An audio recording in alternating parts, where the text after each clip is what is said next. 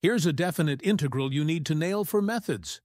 We're asked to evaluate the integral from a equals pi over 3 to b equals pi over 2 of 2 cosine x with respect to x. Step 1. Integrate.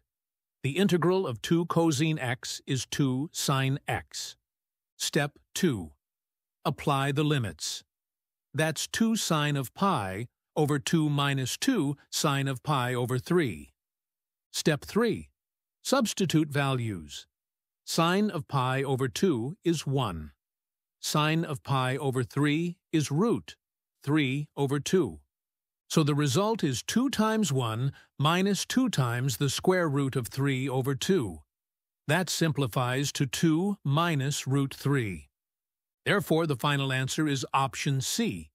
And if you want a fresh practice exam before the Maths Methods External, grab it from the link below or in my bio.